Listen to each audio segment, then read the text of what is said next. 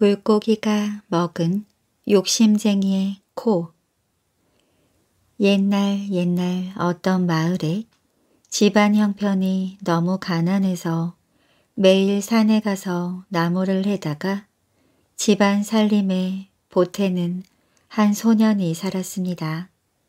어느 날 소년이 지게를 지고 산에 나무를 하러 갔습니다. 나무를 한 짐 가득 했을 무렵 갈퀴로 마른 나뭇잎을 긁어 모으다가 호두 한 알이 떼굴떼굴 굴러 나왔습니다. 요건 우리 아버지께 갖다 드려야겠군. 마음 착한 소녀는 해가 저물어 배가 무척 고팠지만 아버지에게 갖다 드리려고 호두를 주머니에다 넣었습니다. 갈퀴로 한 번더 벅벅 긁어 호두 한 알이 떼굴떼굴 굴러나오게 되었어요. 요건 우리 어머니께 갖다 드리자. 소녀는 이번에도 제가 먹으려고 하지 않고 어머니께 드리겠다며 호두를 주머니에다 넣었습니다. 소년이 마른 나뭇잎을 또 한 번 긁어 당겼습니다. 그랬더니 호두 한 알이 또 대굴대굴 굴러나왔어요. 요건 우리 형님께 갖다 드리자. 소녀는 형에게 가져다 줄 호두를 주머니에 넣고 또 한 번 당겼습니다. 이번에도 역시 호두 한 알이 떼굴떼굴 굴러 나왔습니다. 요건 내가 먹어야지. 소녀는 부모님과 형님에게 줄 호두를 챙긴 뒤에야 비로소 자기가 먹을 호두를 챙겼습니다. 소녀는 나무를 한 짐 가득 지고 집으로 돌아가려고 하였어요. 그런데 어느새 해가 바닷속에 떨어져 버렸는지 키가 큰 나무들이 어슴풀에 보이고 샛별이 반짝거렸습니다. 달이 떠 있으면 달빛이라도 의지해서 집으로 돌아가겠지만 달마저 뜨지 않았습니다. 사방이 온통 캄캄해지면 올이나 되는 집까지 가지 못할 것이 분명했습니다. 하는 수 없이 어디에라도 가서 하룻밤을 보내고 가야겠다. 소녀는 큰 밤나무 옆에 다 썩어서 무너져가는 집 한 채를 발견하고 그 집에 들어갔습니다. 무너진 지 오래된 것 같은 담에 대문도 없는 아주 쓸쓸한 집이었습니다. 집이라기보다는 겨우 비바람이나 피할 정도의 헛간에 가까웠지요. 소녀는 마루 위에서 자려고 했지만 어쩐지 무시무시하고 수북하게 쌓인 먼지 때문에 잠도 잘 오지 않았습니다. 또 짐승이라도 오는 날에는 언제 죽을지도 모를 일이었습니다. 그래서 소녀는 들보에 기어 올라가 담벼락에 등을 기대고는 잠을 청했지요. 그때 웅성웅성하는 소리와 쿵쿵하는 발자국 소리가 나더니 스무 명쯤 되는 도깨비들이 들어왔습니다. 마음 착한 소녀는 너무 무서워서 숨을 죽인 채 목을 움츠리고 있었지요. 예, 너는 오늘 무얼 했니? 난 오늘 짐을 싣고 가는 소의 팔을 땅에다 딱 붙여놓았다. 그러니까 사람은 가지 않는다고 소를 자꾸 때리고 소는 안타까워서 자꾸 음매하면서 요동을 치는 거야. 어찌나 우습고 재미있었는지. 난 오늘 하루 종일 강가에서 잠만 자고 왔어. 난 널따란 길에다 소똥을 대굴대굴 굴리면서 놀았지. 도깨비들은 제 각기 오늘 한 일을 말하느라 야단 법석을 떨었습니다. 그러다가 그 가운데 한 도깨비가 말했어요. 얘들아 배가 고픈데 뭘 좀 먹고 놀자. 그러더니 꽁무니에서 다듬이 방망이 같은 것을 꺼냈습니다. 뭐부터 먹을까? 옆에 있던 도깨비가 말했습니다. 우선 술부터 먹자. 그러니까 다듬이 방망이를 가진 도깨비가 방망이를 문턱에 딱딱 두드리며 말했습니다. 술아 나오너라. 그러자 방망이에서 술이 가득 담긴 항아리들이 마구 나왔습니다. 안주도 있어야지. 한참 술을 퍼마시던 도깨비들이 또 이렇게 말하자 방망이를 가진 도깨비가 다듬이 방망이를 또 문턱에 두드리면서 말했습니다. 소고기, 돼지고기, 지짐이야 어서 나오너라. 그러니까 소갈비에 돼지머리, 김이 모락모락 나는 지짐이가 방망이에서 꼬리에 꼬리를 물고 나오는 것이었습니다. 도깨비들은 맛있는 음식이 나오자 들러붙어서 마구 먹기 시작했습니다. 이것을 보고 있자니 소년도 갑자기 배가 무척 고팠습니다. 그래서 아까 산에서 갈퀴질할 때 떼굴떼굴 굴러나온 호두알을 주머니에서 꺼내어 딱 하고 소리를 내며 깨물었지요. 소갈비 돼지머리 지지미들을 먹느라 정신이 없던 도깨비들은 소년이 호두를 깨무는 소리에 놀라서 외쳤습니다. 어서 나가자. 집이 무너진다. 도깨비들은 손살같이 도망쳤습니다. 도깨비들이 모두 사라지자 소년은 들보에서 기어 내려왔습니다. 그런데 아까 도깨비가 딱딱 치기만 하면 무엇이든 나왔던 방망이가 그냥 놓여져 있었습니다. 야 이거 횡재했구나. 우선 배가 무척 고프니 어디 떡이나 한번 나오라고 해볼까? 소녀는 방망이를 문턱에다 딱딱 때렸습니다. 찰떡 인절미 공떡 나오너라. 그랬더니 방망이에서 찰떡과 인절미가 듬뿍 나왔습니다. 날이 밝자 소녀는 그 보물방망이를 가지고 집으로 돌아왔습니다. 커다란 기와집아 나오너라. 아버지들을 좋은 음식아 나오너라. 어머니들을 좋은 옷아 나오너라. 소녀는 이렇게 방망이를 딱딱 두들겨서 큰 부자가 되었습니다. 그런데 마음씨 착한 소년이 사는 동네에 마음씨가 곱지 못하기로 소문이 자자한 소년이 살았습니다. 그 소년은 부모님 말씀을 잘 듣지 않는 것은 물론이고 밖에 나가서도 애들과 싸움박질만 하고 다녔어요. 하루는 마음씨 곱지 못한 소년이 큰 부자가 된 마음씨 착한 소년을 찾아왔습니다. 예, 너는 그 전에 아주 가난하지 않았니? 갑자기 이렇게 큰 부자가 된 비법이 무엇이니? 마음씨 곱지 못한 소년이 묻자 마음씨 착한 소년은 숨기지 않고 이러이러해서 보물 방망이를 얻었다며 그동안 있었던 이야기를 모두 해주었습니다. 이 말을 들은 마음씨 곱지 못한 소녀는 저도 그 보물방망이를 얻어오리라 결심했지요. 마음씨 곱지 못한 소녀는 한 번도 하지 않았던 나무를 한답시고 지게를 지고 산에 갔습니다. 그런 다음 마음씨 착한 소년이 한 것처럼 마른 잎을 긁어 당기자 호두 한 알이 떼굴떼굴 굴러 나왔습니다. 이건 내가 먹자. 마음씨 곱지 못한 소녀는 호두를 바로 깨물어 먹었습니다.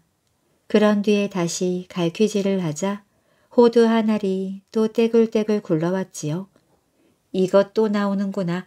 맛있는데 요것도 내가 먹자. 소녀는 두 번째로 나온 호두도 제가 먹어버렸어요. 그리고 한 번 더 갈퀴를 긁어당기자 호두 한 알이 또 굴러왔습니다. 이건 우리 아버지나 줄까? 마음씨 곱지 못한 소녀는 이렇게 말한 뒤 주머니에다 호두를 넣었습니다. 소녀는 호두 대여섯 알을 주머니에 더 담았어요. 이제 됐다. 마음씨 곱지 못한 소녀는 나무 하나 없는 빈 지게를 지고 마음씨 착한 소년이 가르쳐준 밤나무 아래에 있는 집을 찾아갔습니다. 그 집은 마음씨 착한 소년이 말해준 대로 아무도 없는 빈집이었어요. 마음씨 곱지 못한 소년은 마음씨 착한 소년이 했던 것처럼 성큼성큼 들보에 기어 올라갔습니다. 그리고 도깨비들이 들어오기만 눈이 빠지게 기다렸습니다. 해가 지고 날이 어두워지자 도깨비들이 우르르 몰려왔습니다. 어째 좀 무시무시했지요. 소녀는 몸을 웅크리고 도깨비들이 하는 말을 들어보았습니다. 너는 오늘 어디에 갔었니? 난 어디 어디에 가서 무엇을 했어? 도깨비들은 한참 동안 술 먹자 고기 먹자 하면서 야단 법석을 떨었어요. 그때 도깨비 한 놈이 꽁무니에서 방망이를 꺼냈습니다. 저게 그 보물 방망이란 거로구나. 나도 이제 부자가 되었다. 마음씨 곱지 못한 소녀는 부자가 될 생각에 신이 났습니다. 아닌 게 아니라 그 방망이로 문턱을 딱딱딱 두드리자 먹음직스러운 술과 고기 그리고 떡이 마구 나왔습니다. 마음씨 곱지 못한 소녀는 그 방망이가 너무 탐이 났지요. 그때 마음씨 곱지 못한 소년이 주머니에서 호두 하나를 꺼내어 힘껏 깨물었습니다. 그런데 놀라서 뛰어나갈 줄로만 알았던 도깨비들이 놀라 뛰쳐나가기는 커녕 이렇게 말하는 것입니다. 또 무엇인가 딱 하는 소리가 났다. 요전에 왔던 그놈이 재미를 보더니 또 왔나 보다. 그놈이 또 우리를 속이려는 게로구나. 그놈을 끌어내리거라. 도깨비들은 이렇게 외치더니 우르르 몰려와서 마음씨 곱지 못한 소년을 들보에서 끌어내렸습니다. 이놈은 혼이 좀 독특히 나야 해. 코를 길게 내려주자. 한 도깨비가 이렇게 외쳤어요. 그러자 마음씨 곱지 못한 소년이 울며불며 외쳤습니다. 난 아니에요. 요전에 왔던 애는 다른 애예요. 그러나 암만 외쳐보아도 아무 소용이 없었습니다. 방망이를 가진 도깨비가 방망이를 두드리면서 외쳤어요. 이놈의 코를 기다랗게 내려주어라.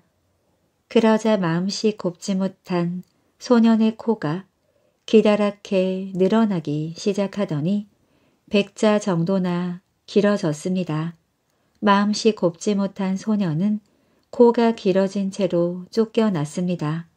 큰 봉변을 당한 뒤 집에 가기 위해 강을 건너려고 했더니 이른 새벽녘이어서 뱃사공이 아직 나오지 않았습니다. 마음씨 곱지 못한 소녀는 어쩔 수 없이 기다란 코를 강 건너편에 걸터 놓고 앉아있다가 그만 잠이 들고 말았어요. 그런데 길을 가던 나그네 한 사람이 강가에 와보니 배는 없고 전에 없던 외나무 다리가 놓여 있었습니다. 그 사람은 마음씨 곱지 못한 소년의 기다란 코가 외나무 다리라고 생각한 것입니다. 나그네는 기다란 담뱃대를 들고 그 외나무 다리 위를 걸어 강을 건너다가 중간쯤에 이르렀을 때 코 위에 담뱃불을 털었습니다. 잠을 자고 있던 마음씨 곱지 못한 소녀는 코가 너무 뜨거워서 눈을 번쩍 뜨고 코를 잡아당겼습니다. 그 바람에 강을 건너던 나그네는 그만 물에 텀벙 빠져서 한참 동안 허우적거리다가 겨우 헤엄쳐 나왔지요. 마음씨 곱지 못한 소녀는 잡아당기던 코가 그만 강한 가운데로 떨어졌습니다. 그랬더니 물고기들이 먹을 게 생겼다고 좋아하면서 들러붙어서 코를 마구 파먹었습니다. 마음씨 곱지 못한 소녀는 피를 뚝뚝 흘리면서 엉엉 울며 집으로 돌아갔다고 합니다. 게으른 농부 이야기 옛날에 일하는 건 딱 질색인 게으른 농부가 살고 있었습니다. 농부는 잠자고 몽상하는 것만 좋아했어요. 농부는 너무나도 많이 쉬어서 배가 고팠습니다. 그래서 옥수수를 심기로 했지요. 다음 날 농부는 밭에 나가 작은 나무 몇 그루를 베었습니다. 농부는 땅을 부드럽게 일구고 옥수수 씨앗을 골고루 뿌려 심었어요. 얼마 지나지 않아 농부는 따가운 햇볕에 금세 피곤해졌습니다. 농부는 잠을 자려고 집으로 돌아왔습니다. 며칠 뒤 작은 옥수수 줄기가 땅 위로 돋았습니다. 매일매일 해는 옥수수가 자라는 것을 도와주었어요. 매일매일 비는 옥수수가 자라는 것을 도와주었습니다. 하루하루 옥수수는 쑥쑥 자랐습니다. 그러나 옥수수 조비에 있는 잡초들도 높이 높이 자랐지요. 곧 무성한 잡초들이 옥수수를 해치게 되었습니다. 옥수수는 소리 높여 외쳤어요. 농부 아저씨, 농부 아저씨, 제발 우리를 도와주세요. 잡초들이 우리를 해치고 있어요. 잡초들이 우리를 자라지 못하게 한다고요. 햇볕 아래에서 쉬고 있던 게으른 농부는 옥수수의 말을 듣고 대답했습니다. 알았어, 알았어. 곧 갈게. 잡초들이 더 이상 못 자라게 해주마. 옥수수는 잡초에게 우쭐거리면서 말했습니다. 농부 아저씨가 곧 올 거야. 이젠 우리에게 손끝 하나 대지 못할걸? 농부 아저씨가 너희를 다 뽑아 버릴 테니까. 그래도 잡초는 무서워하지 않았습니다.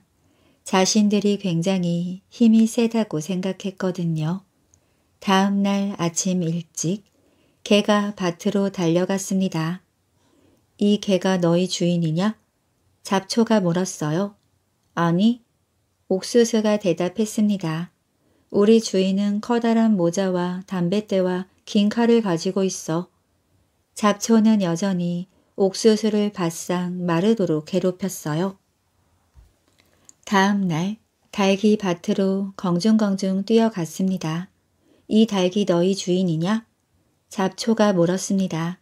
아니, 옥수수가 대답했지요. 우리 주인은 커다란 모자와 담뱃대와 긴 칼을 가지고 있다고. 잡초는 옥수수를 좀 더 꽉 눌렀습니다. 다음 날 뱀이 스르르 미끄러지며 밭으로 갔습니다. 저 뱀이 너희 주인이냐? 잡초가 물었어요. 아니, 옥수수가 대답했습니다. 우리 주인은 커다란 모자와 담뱃대와 긴 칼을 가지고 있다니까. 잡초는 불쌍한 옥수수를 더욱더 꽉 휘 감았습니다. 드디어 농부가 밭으로 나왔습니다. 농부는 큰 모자를 쓰고 있었어요. 입에는 담뱃대를 물고 허리에는 긴 칼을 차고 있었지요. 저 사람이 너희 주인이냐? 잡초가 물었습니다. 맞아. 옥수수가 기쁘게 외쳤어요. 농부는 큰 잡초들을 몽땅 뽑아냈습니다. 옥수수는 기분이 날아갈 듯 했습니다. 이제야 옥수수들은 숨 쉴 틈이 생겼거든요. 옥수수는 농부에게 말했습니다. 아저씨 이제 집안을 깨끗이 치우세요. 우리를 쌓아둘 만한 자리도 마련해 주시고요. 그러면 우리가 알아서 아저씨를 찾아갈게요. 아저씨가 직접 우리를 따가는 일은 결코 없을 테니까요. 그러나 피곤한 농부는 집으로 돌아가 깊은 잠 속으로 빠져버렸습니다. 일주일이 지났어요. 농부는 여전히 빈둥거리면서 지냈습니다. 마침내 옥수수는 크고 멋지게 자랐습니다.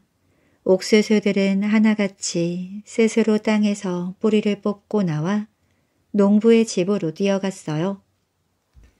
아저씨 문 좀 열어주세요. 옥수수들이 외쳤습니다. 그러나 드르렁 코고는 소리만이 들려올 뿐이었지요. 옥수수들은 문을 밀고 들어가 잠자는 농부를 보았습니다. 옥수수들은 깨끗한 집 대신 엉망진창인 집을 보았어요. 화가 잔뜩 난 옥수수들은 밭으로 다시 돌아왔습니다. 옥수수들은 재빨리 땅속으로 펄쩍 뛰어들어 뿌리를 내렸고 다시는 땅에서 떠나지 않기로 마음먹었답니다. 그날 이후로 옥수수는 어느 누구의 집에도 찾아가지 않았어요. 누구든 어디에서든 옥수수밭에 가야만 옥수수를 딸 수 있게 되었답니다. 이 모든 것이 게으르고 게으른 그 농부 때문이었지요. 금을 얻은 오영재 옛날 옛날에 어떤 곳에 종이 한 장 변변에 들지 못할 정도로 힘이 아주 약한 박서방이라는 사람이 있었습니다. 박서방은 비록 힘이 없긴 했지만 그를 깨우쳐서 읽을 줄 알았습니다. 마을 사람들은 박서방만 보면 힘없는 허수아비라고 놀려댔어요. 박서방은 이렇게 늘 사람들의 멸시를 받는 것이 원망스러웠습니다. 그래서 하루는 큰 결심을 하고 수양을 하러 길을 떠났습니다.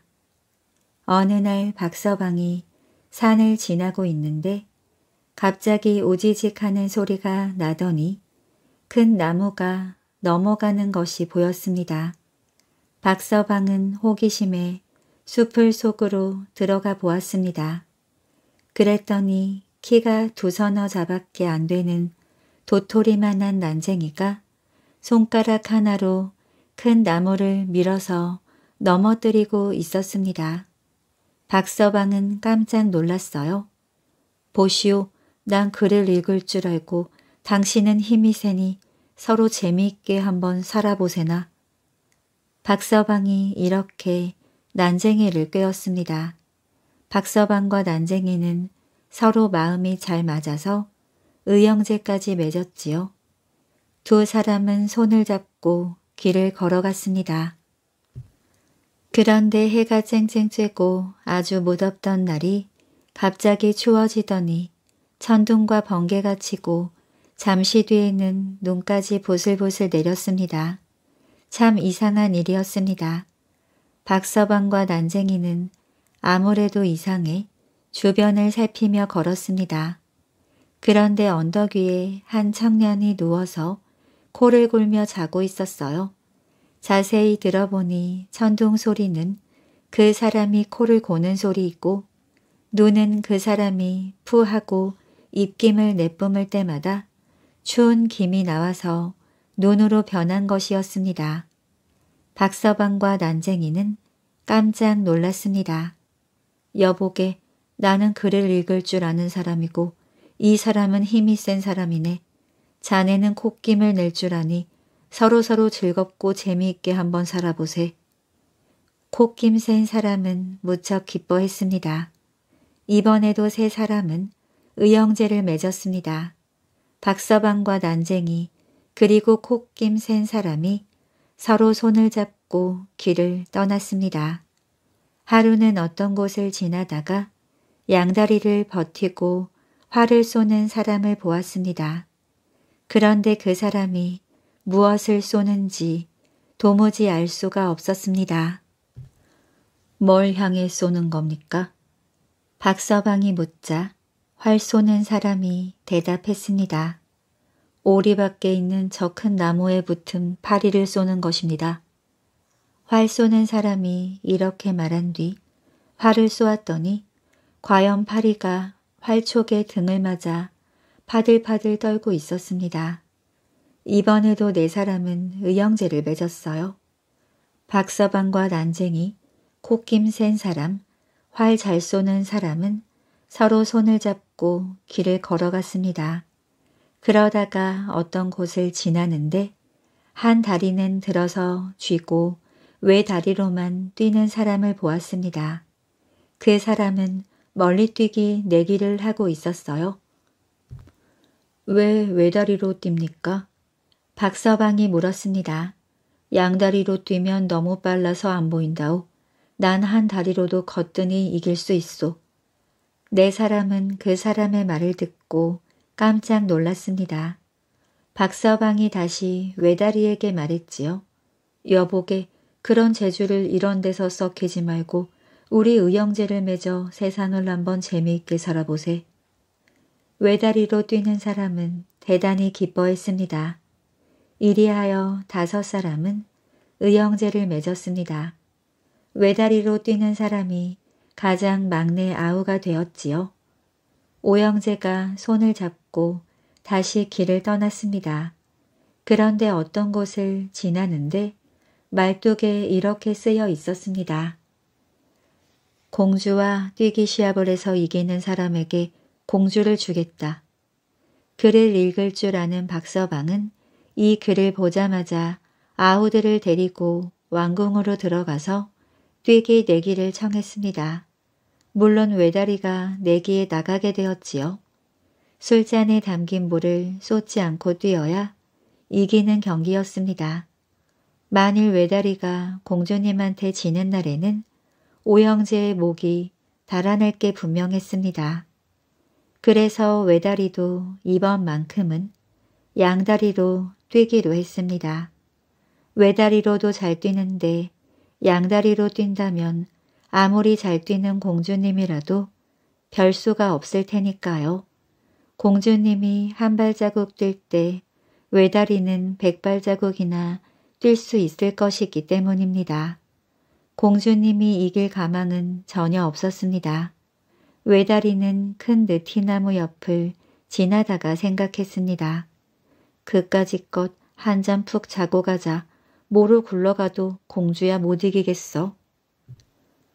외다리는 술잔을 옆에 두고 느티나무 뿌리를 베개 삼아 잠을 잤습니다. 한편 공주는 엄청나게 빨리 뛰는 외다리를 보고 깜짝 놀라서 죽을 힘을 다해 열심히 뛰었지요. 이렇게 한참을 뛰어서 느티나무 옆을 지나려는데 글쎄 외다리가 자고 있는 게 아니겠어요? 공주는 외다리가 들고 있던 술잔의 물을 죄다 쏟아버렸습니다.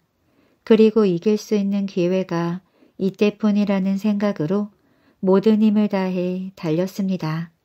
그런데 외다리는 그것도 모르는 채 세상 모르고 잠에 취해서 코까지 골고 있었지요. 한편 사형제가 아무리 기다려도 외다리 아우의 그림자도 보이질 않았습니다. 도대체 어찌 된 일인지 걱정이 되어 산 꼭대기에 올랐더니 외다리가 느티나무 뿌리를 베개 삼아 자고 있는 것이었어요. 사형제는 깜짝 놀랐습니다. 이때 활 잘 쏘는 사람이 얼른 화살로 외다리가 베고 자는 느티나무 뿌리를 쏘았습니다. 그제야 외다리가 부스스 일어났습니다. 에쿠, 이거 내가 너무 오래 잤나 보다.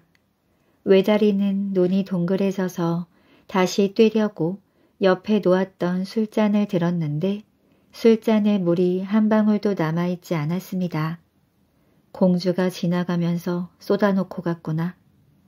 외다리는 깜짝 놀랐지만 이미 엎질러진 물이었습니다. 외다리는 도로 돌아가서 술잔에 물을 담아가지고 뛰기 시작했습니다.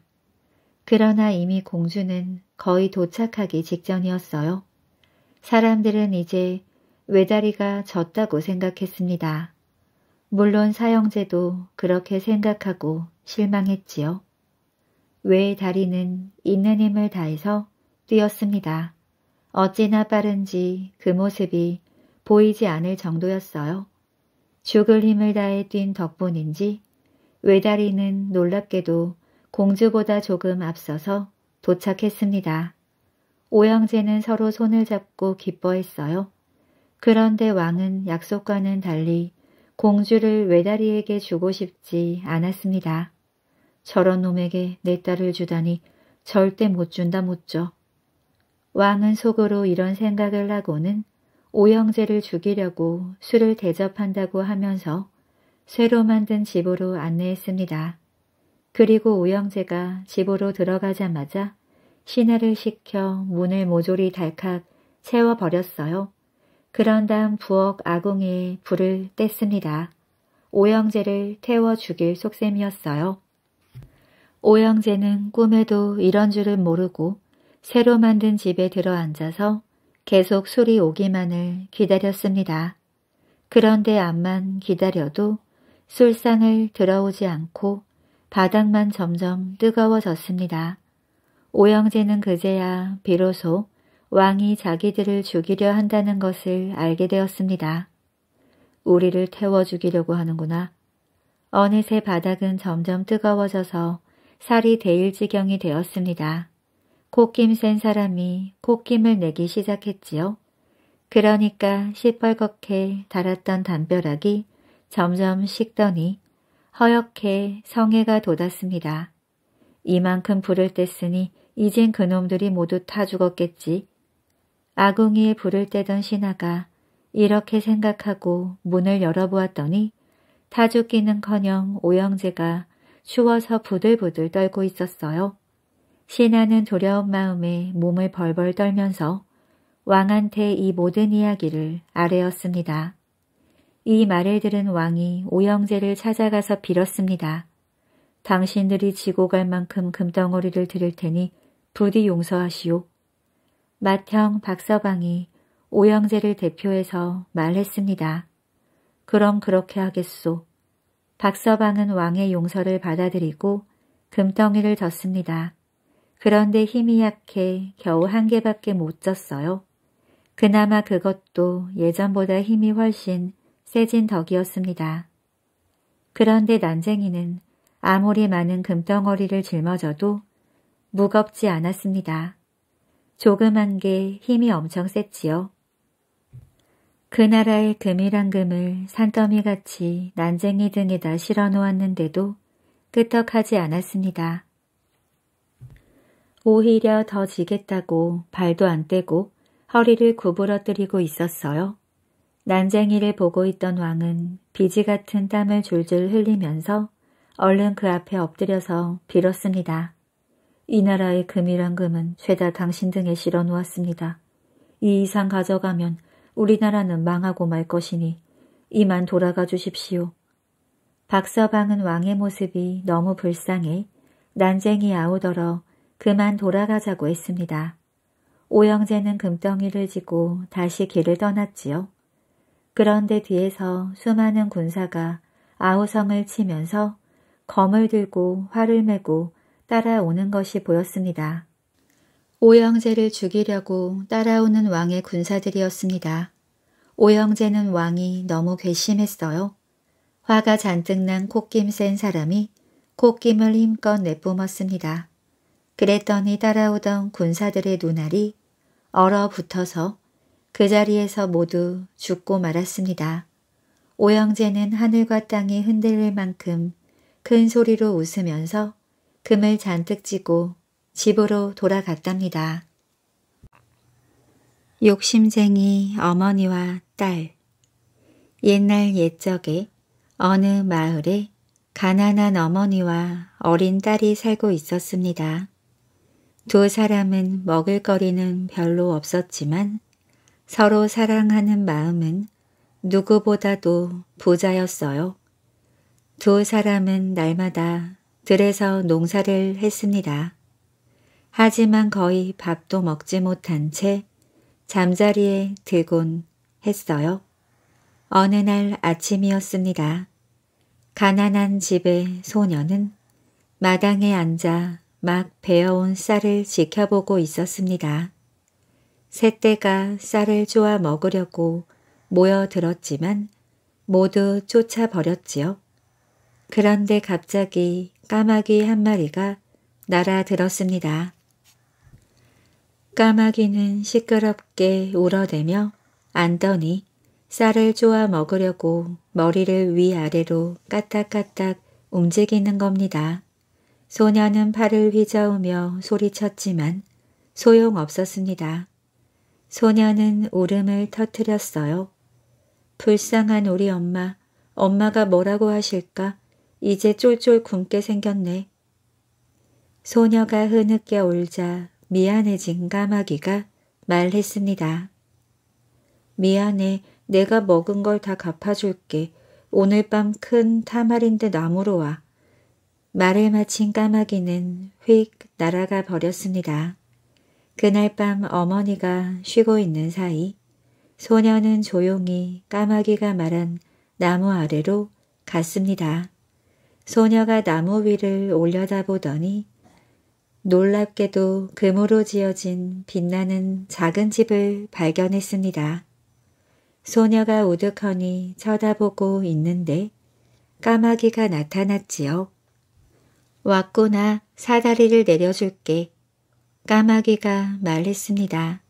금 사다리를 줄까 은 사다리를 줄까 아니면 노쇠 사다리를 줄까 노쇠 사다리가 좋겠어요. 소녀가 대답했습니다. 그런데 노쇠 사다리 대신 멋진 금 사다리가 내려왔습니다. 소녀는 금 사다리를 타고 올라가 집 안으로 들어갔습니다. 배고프지?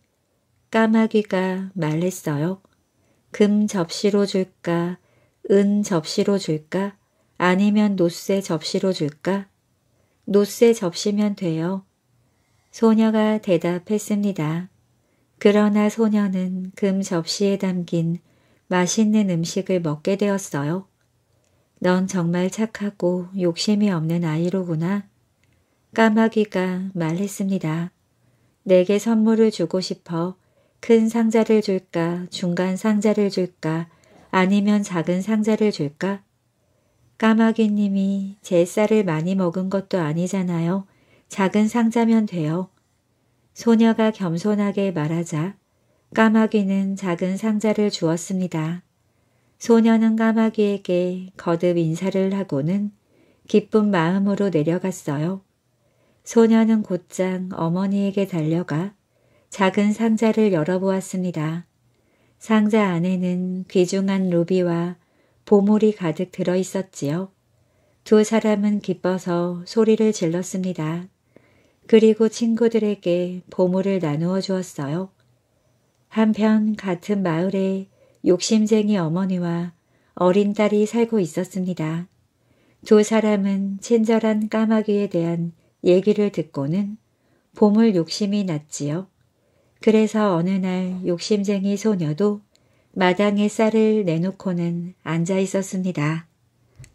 욕심쟁이 소녀가 꾸벅꾸벅 조는 동안 새들이 그만 그 쌀을 다 먹어버렸어요.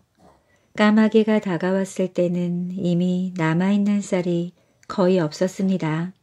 그런데 까마귀가 쌀세 톨을 먹자마자 욕심쟁이 소녀는 심술궂게 외쳤습니다. 바보 같은 까마귀, 네가 우리 쌀을 다 먹었으니 쌀값을 물어내. 그럼 오늘 밤 큰 나무로 와. 까마귀가 말했습니다. 욕심쟁이 소녀는 해가 질 때까지 참고 기다리기 어려웠어요. 해질 무렵이 되자 욕심쟁이 소녀는 나무 쪽으로 달려가서 소리를 질렀습니다. 어서 날 들여보내줘. 금 사다리를 줄까? 은 사다리를 줄까? 아니면 노쇠 사다리를 줄까? 그야 물론 금 사다리지. 욕심쟁이 소녀는 비웃듯이 말했습니다.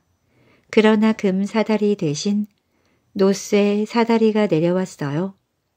욕심쟁이 소녀는 그것을 타고 올라가서는 밀치듯이 집 안으로 들어갔습니다.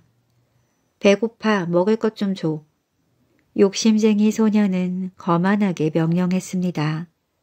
금 접시로 줄까 은 접시로 줄까 아니면 노쇠 접시로 줄까? 그야 물론 금 접시지. 하지만 노쇠 접시에 딱딱한 쌀 몇 톨만 담겨져 나왔습니다. 아 지겨워 이제 가야겠다. 나에게도 상자를 줘야지. 욕심쟁이 소녀가 말했습니다. 큰 상자를 줄까 중간 상자를 줄까 아니면 작은 상자를 줄까? 까마귀는 달콤한 목소리로 물었습니다. 난 바보가 아니야. 그야 물론 가장 큰 상자지. 까마귀는 욕심쟁이 소녀에게 가장 큰 상자를 주었습니다. 욕심쟁이 소녀는 낚아채듯 집어들고는 고맙다는 인사도 없이 사라졌어요. 욕심쟁이 소녀는 무거운 상자 안에 값비싼 보물이 잔뜩 들어있을 거라고 생각하며 집으로 돌아왔습니다. 딸보다 더 욕심쟁이인 어머니는 상자를 보자마자 달려들어 열어보았지요. 하지만 상자 안에는 값진 보물은커녕 끔찍하고 커다란 뱀이 쉬쉬 큰 소리를 내며 스멀스멀 기어 나왔습니다. 뱀은 물지는 않았지만 두 사람의 몸을 핥으며 겁을 주었어요. 그러다 끔찍한 쉬쉬 소리를 내면서 미끄러지듯이 사라졌습니다. 그 후로 욕심쟁이 어머니와 딸이 조금은 착해졌는지 조금은 욕심이 줄었는지 그대로인지는 아무도 알지 못했답니다. 다시는 나타나지 않았기 때문입니다. 시어머니와 다섯 며느리 옛날 옛적 어느 늙은 부부가 다섯 아들과 다섯 며느리와 함께 살고 있었습니다. 모두 매일매일 열심히 일을 했어요. 그러나 시어머니는 지독한 고도세였습니다. 시어머니는 쌀을 여러 헛간에 가득 쌓아두었지만 가족에게는 절대로 나누어 주지 않았지요. 시어머니는 날마다 옥수수 가루로 반죽한 보잘것없는 음식만 내놓았습니다. 다섯 아들과 다섯 며느리는 들에서 오래오래 일을 했지만 늦게까지 일하고 돌아와도 맛없고 거친 음식밖에 먹을 것이 없었습니다. 마침내 다섯 며느리들은 화가 머리 끝까지 났습니다. 어머님은 쌀을 많이 가지고 계신데 우리는 아무것도 못 먹어. 맏며느리가 토달거렸습니다. 어머님이 쌀을 나누어 주시지 않으니 우리 스스로 꺼내 먹어야겠어요. 다섯 며느리 가운데 가장 영리한 막내 며느리가 말했습니다. 하지만 어머님이 눈치채시고 우리에게 벌을 줄 걸 다른 며느리가 걱정스러워하며 말했습니다. 걱정 마세요. 제게 좋은 수가 있다고요. 막내 며느리가 말했어요. 다음 날이었습니다. 시어머니가 낮잠을 자는 사이 다섯 며느리들은 가장 큰 헛간으로 살금살금 기어갔어요. 마루청을 슬그머니 밀어내고 헛간으로 기어들어가 좋은 별을 가지고 나왔습니다. 다섯 며느리들은 들에서 벼 껍질을 벗기고 하얀 쌀로 밥을 지어 배불리 먹었습니다. 그러고 나서 아주 살금살금 빈 벼 껍질을 헛간에 가져다 놓았지요. 그 다음 날에는 쌀을 조금 내다 팔고 신선한 채소들을 샀습니다. 그리고 달을 만들어 먹었어요. 이 비밀스런 잔치와 함께 몇 주가 지나고 몇 달이 흘렀습니다. 그리고 마침내 다섯 며느리들은 큰 헛간에 쌓아둔 쌀을 전부 먹어버렸습니다. 쌀이 없어질 만한 핑계거리를 찾지 않으면 곧 들키고 말 거야. 며느리들은 두려움에 떨면서 웅성거렸습니다. 우리 이렇게 해요. 막내 며느리가 말했어요. 막내 며느리가 소곤소곤 대책을 말하자 모두 좋은 생각이라며 맞장구를 쳤습니다. 그날 밤 늦게 다섯 며느리들은 침대에서 살그머니 기어나와 괴상하게 옷을 차려입고 화장을 했습니다. 누가 누구인지 알아볼 수도 없고 사람 같지도 않아 무서워 보였지요. 다섯 며느리들은 각자 납작한 냄비와 북을 하나씩 들었습니다. 그리고 느닷없이 시끄럽고 기괴한 소리를 내기 시작했어요. 우리를 먹여주시오. 우리를 먹여주시오. 우리는 쌀을 원하오.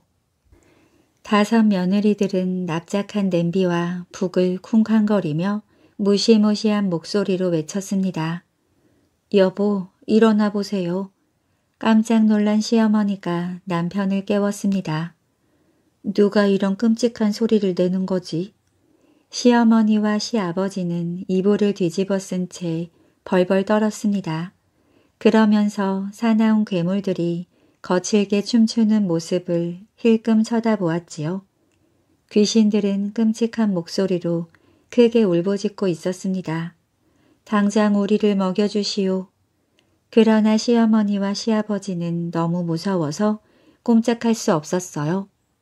겨우 이렇게 소리칠 뿐이었습니다.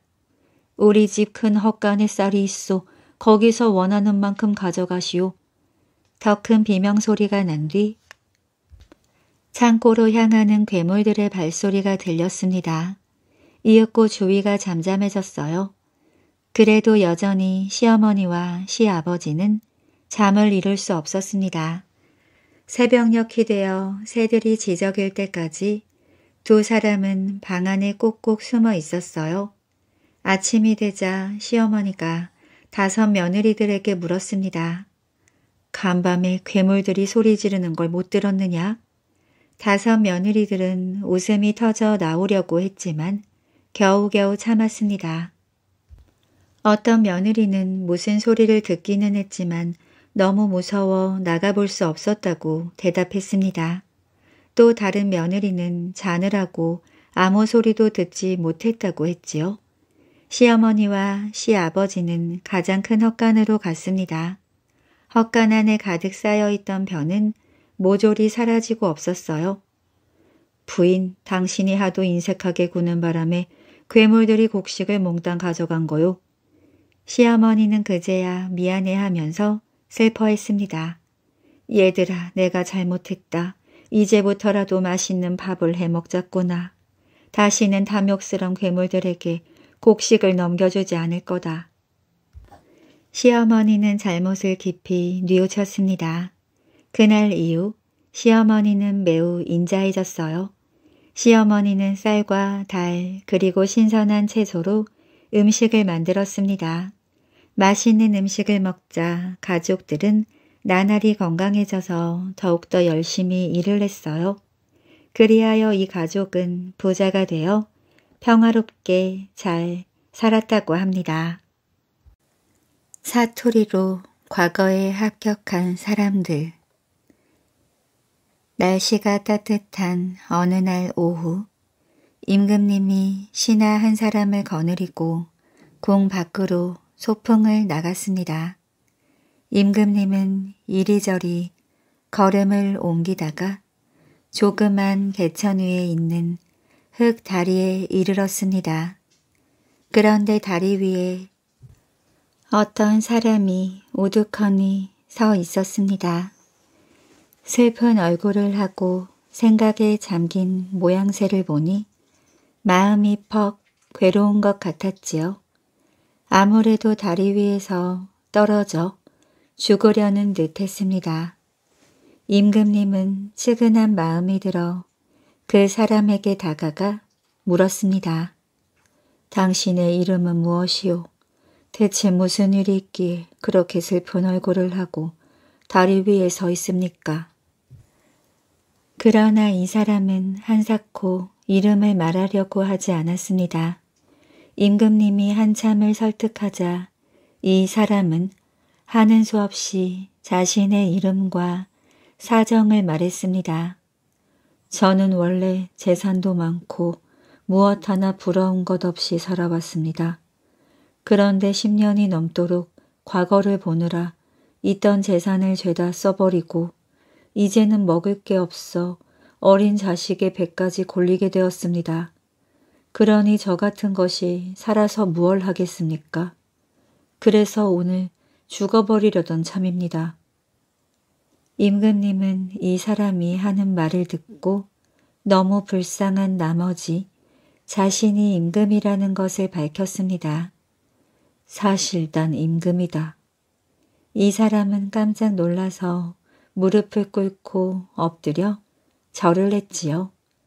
말하는 것과 태도로 보아 예사 사람은 아닐 거라고 생각했지만 설마 임금님일 줄은 생각도 못했습니다.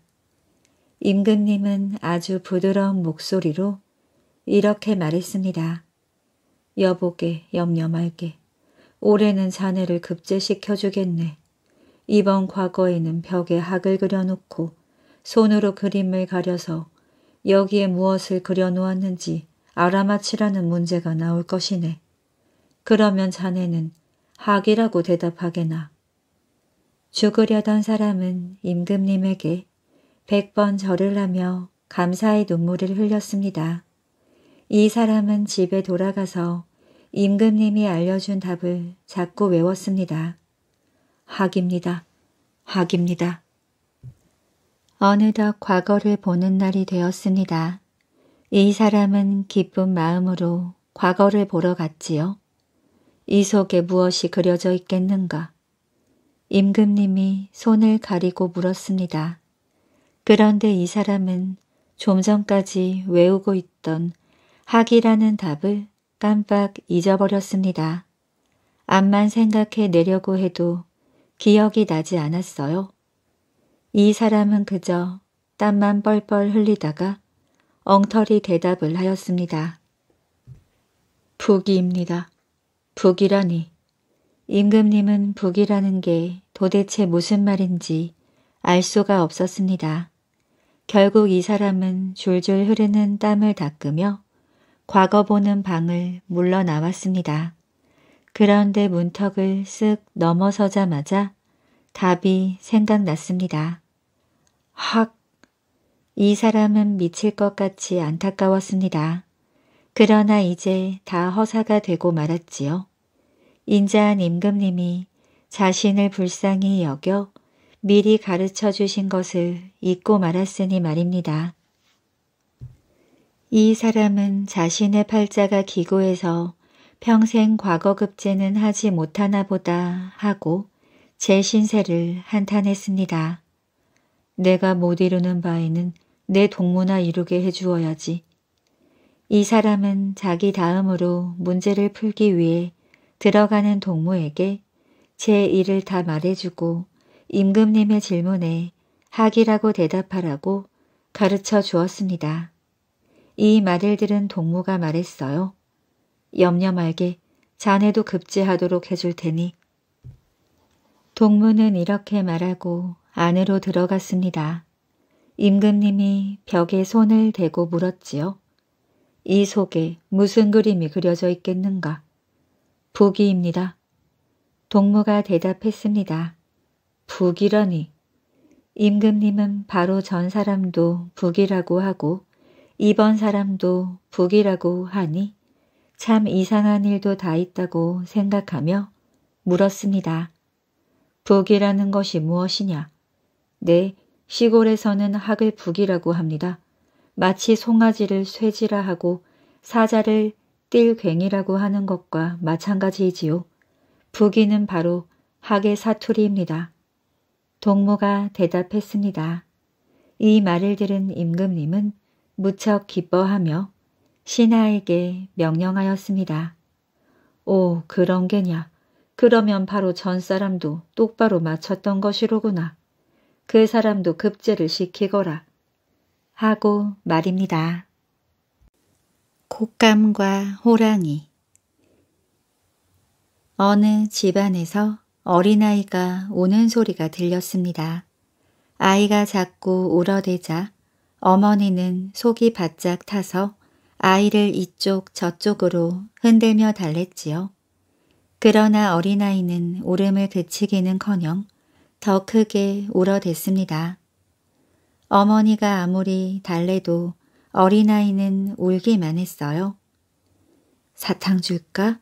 저기 늑대가 온다. 그래도 어린아이는 울음을 그치지 않았습니다. 어머니는 속이 새카맣게 탔습니다. 아가 저것 봐. 문 밖에 큰 호랑이가 와서 앉아있네. 울면 호랑이가 잡아간다. 호랑이는 그 집 문 밖에 앉아서 물끄러미 창을 쳐다보고 있다가 깜짝 놀랐습니다. 아이 어머니가 어떻게 알았는지 자기가 문 밖 에 와서 앉아있는 것을 알고 있었던 것입니다. 그런데 호랑이가 더 놀랄 것은 모든 짐승의 왕인 자기가 와 앉아 있다는데도 어린아이가 무서워하지 않고 자꾸만 울어대는 것이었습니다. 호랑이는 지금껏 자기가 최고라고 뽐내던 호기를 조금 잃었습니다. 호랑이는 그렇게 문 밖에서 어깨를 푹 내리고 앉아 있었지요. 그때 어머니가 울음을 그치지 않는 어린아이를 달래며 말했습니다. 울지 마라. 곶감 줄까? 곶감? 그러자 좀 전까지 으앙으앙 울던 어린아이가 울음을 뚝 그쳤습니다. 호랑이는 깜짝 놀랐지요. 이 세상에 나보다 더 무서운 곶감이란 것이 있었구나. 호랑이는 무서운 곶감한테 잡혀 먹힐까봐 급히 도망치다가 그만 솥불에 눈알이 걸려 죽고 말았답니다. 죽 부인 전 죽이란 대나무를 일컫는 말입니다. 죽부인의 조상은 악기를 다루는 재주가 뛰어나서 오랜 옛날부터 음악에 관련된 일을 맡아보았습니다. 중국 주나라 때 간이란 훌륭한 인물이 있었는데 그는 죽부인의 조상입니다. 그는 강태공과 함께 강가에서 낚시질을 즐겼어요. 어느 날 강태공이 낚시에 쓸 갈고리를 만들자 간이 말했습니다. 내가 들으니 큰 낚시에는 갈고리가 없다고 합니다. 강태공이 의아한 눈초리로 물었습니다. 낚시에 갈고리가 없으면 물고기가 물어도 빠져버리지 않습니까? 그런데 큰 낚시에는 갈고리가 없다니 그게 무슨 뜻입니까? 낚시의 크고 작음은 낚시의 바늘이 굽은 것이냐 아니면 고든 것이냐를 두고 하는 말입니다. 굽은 낚시는 겨우 물고기를 낚는 데 쓰임에 지나지 않을 것이나 고든 낚시는 가히 나라를 낚는 데 쓰일 것입니다. 그러니 고든 낚시는 큰 낚시요. 굽은 낚시는 작은 낚시가 아니겠습니까? 강태공은 그 말을 옳게 여기며 그대로 따랐습니다. 그는 고든 낚싯바늘을 물에 던져놓고 세월을 낚고 있었습니다. 그러다가 문왕을 만나 주나라를 세우는데 큰 공을 이루었지요. 말을 쫓은 덕분에 물고기 대신 나라를 낚았던 것입니다. 간의 먼 후손 중에 운이란 자가 있었습니다. 그는 산속에 숨어 살면서 세상에 나아가 벼슬을 하지 않았습니다. 그에게는 아우가 하나 있었는데 이름이 당이었어요. 운과 당은 모두 왕대의 한 종류를 일컫는 말입니다. 당은 형과 마찬가지로 이름을 깨끗이 하고 속을 비운 채 곱게 자랐습니다. 당이 부인을 얻어 딸 하나를 낳았는데 그 딸이 바로 죽부인입니다. 처녀로 있을 때 자태가 아름답고 정숙하기 이를 데 없었지요. 하루는 그 이웃에 사는 한 사내가 그녀를 마음에 품고 은근히 유혹의 말을 던졌습니다. 부인은 몹시 노여워하며 그 사내를 향해 크게 꾸짖었지요. 남자와 여자가 비록 다르지만 고든 절개를 지키는 데 있어서는 어찌 다름이 있겠소. 그럼에도 불구하고 그대가 내 절개를 시험하여 마음을 어지럽히니 사내로서 부끄럽지 않소이까. 이 말을 듣고 사내는 부끄러워 얼굴을 들지 못했습니다. 그 후 그녀의 올바른 품행이 널리 알려져 세상 사람들로부터 칭찬이 자자했어요. 그녀가 시집갈 나이가 되자 송대부가 예를 갖추어 혼인하기를 정했습니다. 송대부란 소나무를 일컫는 말입니다. 송대부의 청혼을 받고 그녀의 부모가 말했습니다. 송대부는 참으로 훌륭한 군자이다. 그의 평소 행동과 높고 고든 지조를 헤아려 보건대 우리 딸아이와 짝이 되기에 안성맞춤이다. 이리하여 부모들은 자기 딸을 송대부의 아내로 보냈습니다. 이로부터 부인의 성질은 날로 굳세고 두터워져 일을 처리하는 데 있어 엄정함이 초겨울 서리와 같았고 칼로 쪼갠 것 같이 분명했습니다.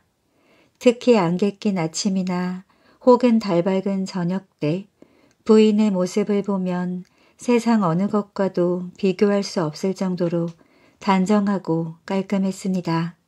또한 비 오는 날에 부인의 곁에 있으면 마치 어디선가 휘파람 소리가 들릴 듯이 아련한 분위기가 풍겼습니다.